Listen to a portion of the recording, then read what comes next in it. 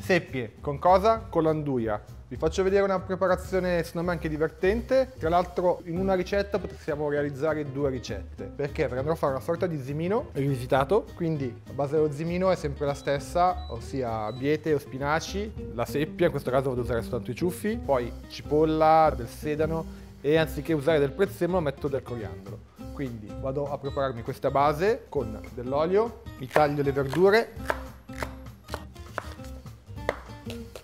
quindi olio caldo, aggiungo cipolla, sedano, alzo bene, nel frattempo che le verdure iniziano a cuocere mi preparo i pomodori, tostiamo per bene, mi preparo i ciuffi, ho diviso la seppia con i ciuffi la parte del corpo, questa l'ho tagliata con un'affettatrice, eh, se non avete un'affettatrice un buon coltello ben affilato, tagliate in maniera molto sottile, andiamo a ricreare un po' una tagliatella. Aggiungiamo i ciuffi delle seppie, preparo le biete, bello tostato, aggiungo le biete, pomodori, sale e pepe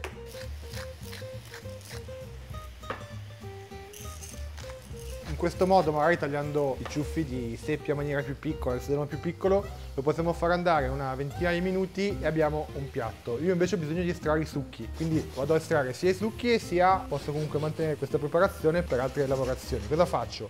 Prendo dell'acqua e faccio cuocere in questo modo a fiamma media per un quarto d'ora, 20 minuti.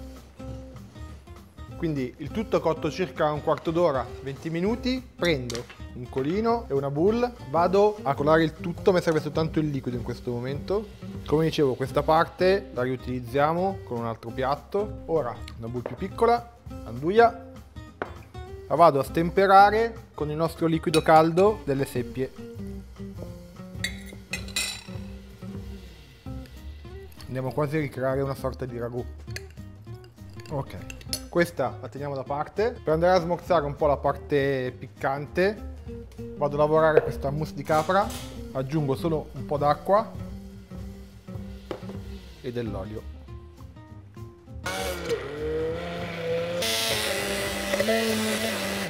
Ok, trasferisco il tutto in una bowl, bella spumosa. Ora dicevo del coriandolo, non mi piace metterlo troppo in cottura in modo da altrimenti rimane troppo invasivo e quindi lo metto soltanto poco prima del servizio. Vado a fare molto fine e lo aggiungo alla nostra anduia. Ora ultima cosa da fare le seppie. Quindi le prendo prendo una placchetta. Prima di condirle con un cannello vado a dare giusto una fiammata. Ora le rimetto nella bowl e le vado a condire con cosa? In maniera molto semplice.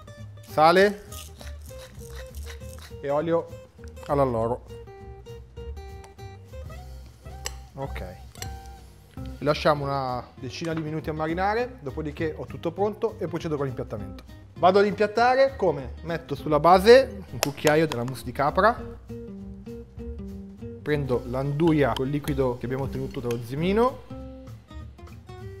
prendo la seppia come gli spaghetti delle tagliatelle.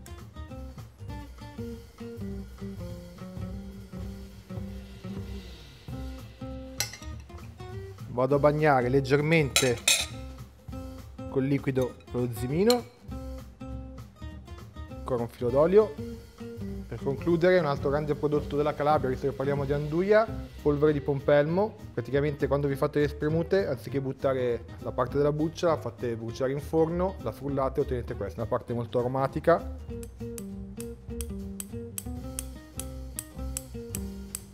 Ed ecco qui, il piatto è pronto. Un'idea carina, provateci, come sempre, alla prossima. Buon appetito!